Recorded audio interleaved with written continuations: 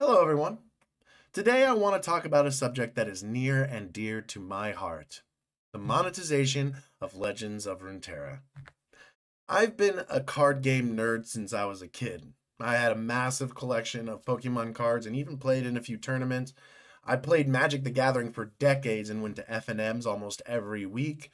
I've played games like Yu Gi Oh!, the DBZ card game, Artifact, Gwent, Marvel Snap, and so many, many more. If there's a TCG or a CCG out there, I've probably played it. And my favorite of the entire genre is Legends of Runeterra. Its art and lore are second to none, and its balanced back and forth gameplay make it more fair and interactive than any game I've ever played before. I've been playing this game since the open beta, and I created this channel just to post some of my silly deck ideas. So when Riot Games announced that they laid off 530 people and came out with this article, my heart sank. So the first part of this video, I'm going to read this article and talk about what's going on at Riot Games and what the future of Red Legends of Runeterra looks like.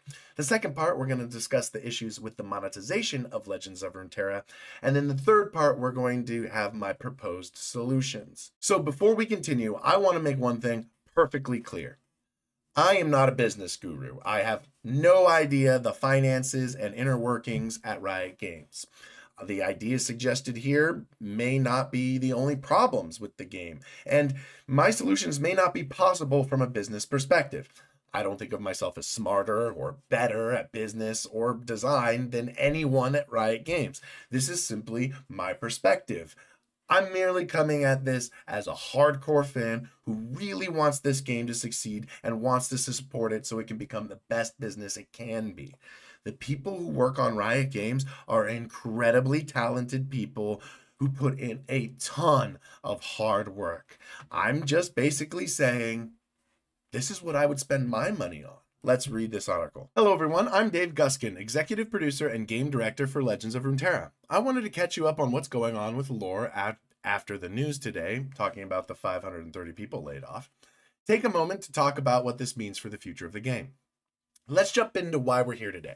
The truth is that despite Lore being an incredible game developed in tandem with the community, Lore has struggled over the years to find its footing as a business.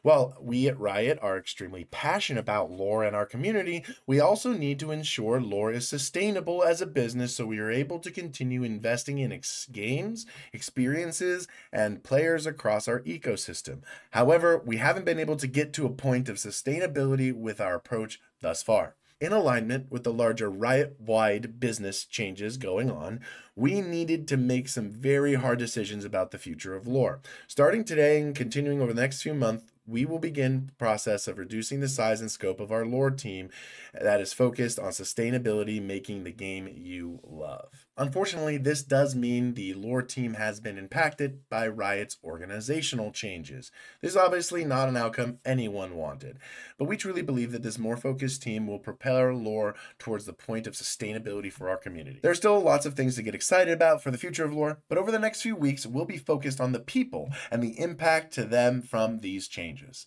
which they should because the people's lives come first. 530 people, it's a lot of people's lives incomes that are greatly affected. I've talked about this before in how we've invested a lot of time and resources into lore to give the team as much runway as possible in an attempt to make the business work. And the truth is, we haven't been able to do that. Every shift over the past couple of years has been done with the goal of achieving sustainability, but that has required other games here at Riot to subsidize lore's exploration to find a business model that works. We know these constant shifts have meant a lot of whiplash for all of you and our direction and that is and that this new direction in scope may feel like a blow. However, this current path is necessary to provide lore a way forward and to enable us to keep the game around for to play for years to come. Essentially, it's not profitable and we need to make the team size shrink or we'd have to remove the game altogether. And so this is the best that they could come up with. And it's a lot of external pressure coming from the top of Riot. It is what it is. After we've regrouped as a team, Legends of Runeterra will once again recenter and refocus, this time with the rising star of Path of Champions, forming the core of the business. The Path of Champions is already a popular and rewarding experience enjoyed by the majority of our audience, and we're excited, excited and we're excited to explore what else we can delight players with in its space. The new refocused team will be led by my good friend and strategist, Eric Shen. I don't know anything about him, who has done incredible work over the past years to make lore the best product it can be while preserving what makes it a great game. Eric brings a fresh perspective to the leadership team and I'm and is excited to continue serving lore's community as an advocate both within the lore leadership team and as a broader League Studios team. I cannot wait to see what the team comes up with under his leadership as executive producer. So they're talking a lot about Path of Champions here, and that that's going to be the new focus of the game, which I understand. Path of Champions has been a surprise hit. It's one of the things that keeps people playing, and it doesn't require a ton of money for them to invest into its experience, right? Not nearly as much as balancing, retooling, and coming out with new cards does. Uh, so I can understand the leap to that, but I just think that people who play this game uh, for its like competitive scene and its balance. Uh, they are a portion of the Path of Champions players too. So good for Shannon. I hope that the it works out. I hope he can bring something fresh to Path of Champions and make it interesting. I do think that it's lacking. They came out with these storylines that didn't have like uh, the ending, the finisher to the storylines. So it'll be cool for them to reinvest in that. I do worry that by taking uh, time away from like balance and competitive their path of champions is going to see a blow too. This game that they're heralding is oh everyone's playing path. I don't think that's going to be true if the broader game gets less support. But I could be wrong. As for me, I've spent the last five years on Legends of Runeterra team, first as a cards designer and eventual gameplay design lead, and then head of gameplay, game director, and now finally executive producer. Over my time on the game, I've seen a lot of big, exciting swings. I'm really proud of the diversity of champs, including Norra, Jack, and Elder Dragon, which are exclusives to the game, and the deck archetypes that we've had throughout the year. It's a testament to the strength of our DNA, design, narrative, art team, and that our expectations, and and it's now fully featured mode with the Path of Champions. Sure, the goal now is to lean into and deliver on those successful pieces in a more sustainable way, continuing to produce champions that players know and love and more content to the path of champions. So they say here, continuing to produce champions that players know and love. So it's suggested that they will continue to release new cards and they will continue to adapt champions from League of Legends into Legends of Runeterra how frequently, and whether or not we're going to get balance and uh, variety patches. That stuff probably is drastically changing now. Um, this is your game, and in partnership with Eric and the other dedicated devs, and even greater game shall be. My time with Lore is ending, but I'll still be at Riot working on other games and cheering from the sidelines as a fan and as a player. Thanks for everyone for your patience and understanding in these difficult times, and thank you for letting me be part of this incredible community and the journey we've taken so far. If you're looking for more details, we'll go into a first look at what comes next for Lore on to on February 2nd in chat with me, Eric, Marc Merrill, and Andrei Van Roon. Hope I'm saying that right.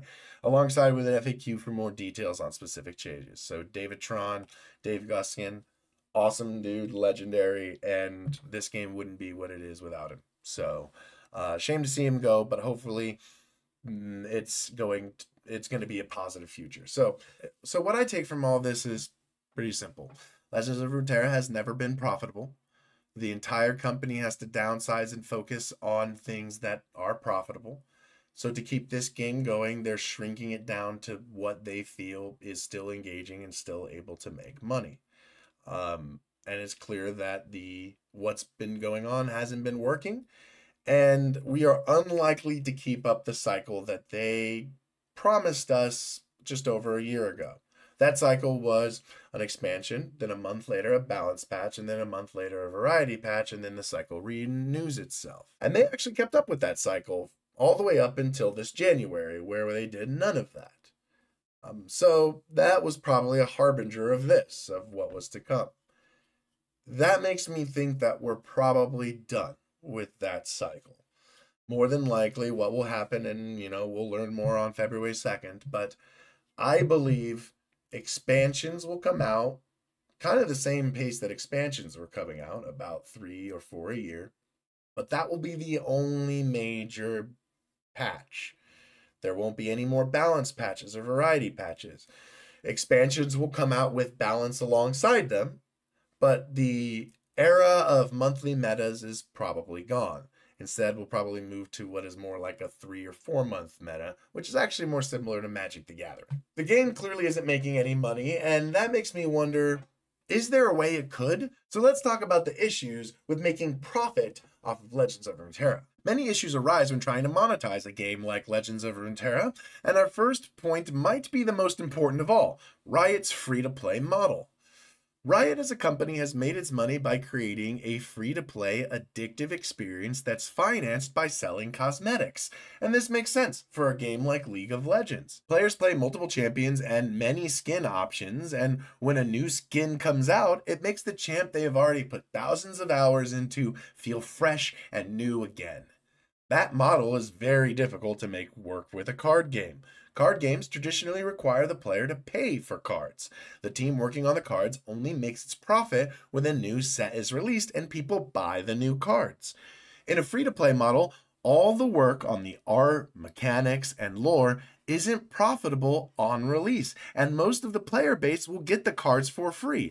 I personally have enough shards that I could stop playing the game for a year and still purchase every card on release. I actually think the free to play model is one of the biggest attractions to this game, but it does mean you lose out on the primary economic driver for card game profits. So you have to make your money off cosmetics, which brings us to our second issue one off cosmetics. Let me explain. In Legends of Runeterra, there are only a few cosmetics you can actually purchase. Most of these can only have one option displayed at a time. For example, boards and guardians. You can only have one board and one guardian at a time, and once you have a combo that matches, you aren't likely to buy another one, even if you switch decks. Some players like to match the deck and the board, but most just want a board that isn't the base one, that's custom, and a guardian that isn't just a Poro. Once you sell one of those to every player that wants one, future Guardians and boards are a waste of time to make, unless they start doing fancy stuff like blasting your opponent's cards whenever they are destroyed. Card backs are similar in that you can only have one selected, but because it is actually connected to the card and not just the background you play on, people are more likely to buy different card backs for different decks. That being said, once I buy a Samira card back, I am unlikely to buy a different card back for any Samira deck I make going forwards, regardless of what the other champion is, therefore limiting my desire to buy more card backs. Emotes have a lot more options, and now that you can choose any emote for your collection, buying more seems like it makes sense.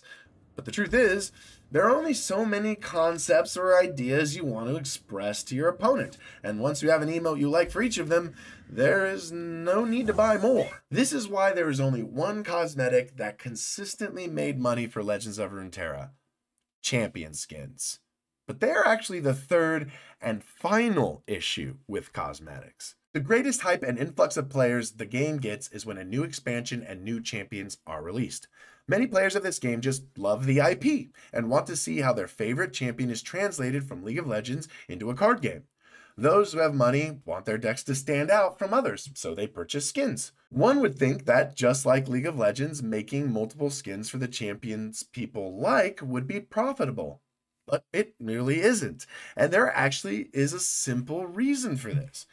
In League of Legends, champions and their skins are your entire playing experience. Even if they don't change the visuals or voice lines, just the new clothing feels like you're doing something different. Although I would guess, without having any data, that the skins that do add voice lines and change effects sell better. In Legends of Runeterra, however, champions are just a part of your deck. Buying a skin doesn't feel like you are fully immersed in a new experience. You won't even see that champion in a decent portion of your matches. Champion level up animations and effects are what people play this game for. So when Riot releases a basic champion skin without new effects, level up animations, or alternate art related cards, it creates two problems. One, cheap players buy basic skins and don't buy the more expensive skins with all the bells and whistles. And two, whales don't buy the cheap skins because they aren't worth it when better skins exists. This dilutes the champion skin experience and turns people off from collecting multiple skins for the champs they love. So to recap, once Riot has sold you a board and guardian combo you like, a card back you like, the emotes you like, and a skin for the champions you play, the game cannot sell you anything else. It literally runs out of monetization. So, where do we go from here? Is the free to play card game just a doomed model from the start? I don't think so. I think there is a massive well of potential to make money off of this game. So let's talk about solutions. My first solution is an idea so simple that I'm not sure why Riot hasn't even tried experimenting with it. The idea is alternate art for non champion cards. Champions at most make up six cards out of your deck, which means there are 34 cards or 85% of your deck that isn't customizable. And you might be thinking, well, your previous point is that you can only buy one. So once person has bought one, they won't buy another. And while that may be true, you still manage to get 12 to 13 purchases out of them. Not to mention, decks change cards while keeping the same champions all the time. And so getting skins for the new cards becomes another purchase. Card players know that metas are inevitable. And if they want to compete, they're going to be playing against other versions of the same deck, plus or minus a few cards. So it's important for them to make their decks stand out from other players. And alternate art non champion cards are the only way to truly do that. So there are two ways I can think of to achieve this, and they can be done separately or in combination. The first I'll call prismatic upgrades, and the other thematic alternates. Prismatic upgrades would use the current prismatic system and turn it into something more akin to Marvel Snap. Snap is interesting because it did the exact opposite as Legends of Runeterra. It's one of the most expensive card games to play, and that caused its player base to drastically drop after a strong start. The main difference is Marvel Snap makes a ton of money off the players it has kept. Now, most of that revenue is achieved through players unlocking cards, but the system I want to focus on is the way they do alternate card art. If you are unaware, in Marvel Snap, when you upgrade a card, it gets improvements to its borders, makes the art 3D and animated, and when you finally upgrade the card, it creates a variant of the card with random different effects. This would be accomplished in Legends of Runeterra by making the Prismatic Essence the resource you would use to upgrade cards. This allows you to make Prismatic Essence a premium currency. Players could unlock a small amount every week, but if they really wanted to upgrade all of their cards, they're going to buy the Battle Pass, which gives you a few cosmetics, but is mostly there to give you cards, shards, and a ton of prismatic essence. This way, the game basically becomes a subscription service in the form of a Battle Pass if you want all the cards in your deck to be similar skins or theme. You can also offer bundles with bonus prismatic essence. This solution seems like would be the easiest to do as most of the animation, 3D effects, and particle effects wouldn't be difficult to mass produce. Once Riot came up with the system and effects they like, it could be implemented on every card. While I do think it is a possible solution, it would be a bit derivative of Marvel Snap and may not work as well as I'm imagining, which is why thematic alternates might make more sense. Thematic alternates would be alternate art that is related to specific champion skins. Think champion spells for champion skins. Say Riot comes out with a Pulsefire Teemo skin to match Caitlyn's Pulsefire skin. They could also release an alternate art of all Puffcap cards in Piltover and Zaun in the Pulsefire style. They sell them for whatever price point makes sense, and suddenly I'm throwing Riot money so I can have an entire Pulsefire Puffcap deck. This might also be cost effective, as Riot could just commission artists to make alternate versions of the cards when they make the first image. I have to imagine, although I could be wrong here, that it wouldn't be that difficult to have an artist make three versions of the same card if they did it all at the same time. Thematic alternates would be the most fun option, in my opinion, and could even be sold as bundles, but might be the more difficult option, as each card art would have to be made by hand. Prismatic upgrades and thematic alternates would solve one of the core problems with monetization, which is that the first art on the card is free and makes no profit. This makes the second or third art where Riot actually makes their money back to pay the artists and the developers. These aren't the only solutions I would actually consider, though. My last idea comes down to champion skins. First of all, all champion skins should have an alternate level up animation, alternate special effects, and alternate art for the champion spell or any generated cards. No more diluting the pool with these basic skins. Does this mean all champion skins are now 25 to $30? Yeah, they should be. This is where Riot makes most of its money, and people will gladly pay that if they only have to do so twice for their champs and they get real value out of it, while the rest of the deck is relatively cheap to upgrade. On top of that, no champ should ever be released without a skin, as the best time to sell a skin is when there's hype for the new card. Riot has gotten better with this, as all their most recent champions have a skin on release, but the choices for their skins should be more related to their gameplay, in my opinion. Take the most recent expansion with Mordekaiser, Morgana, and Elder Dragon. Mordekaiser and Elder Dragon both got old god skins, but the two don't work in a deck together. Dragon boons are lost when a creature dies and not regained when it's revived, so the two don't have any real synergy. Morgana works great with Mordekaiser, but she got a Coven skin instead. On release, there should have been a skin line that ties Morgana and Mordekaiser together, and a skin line that ties Elder Dragon and Volibear together.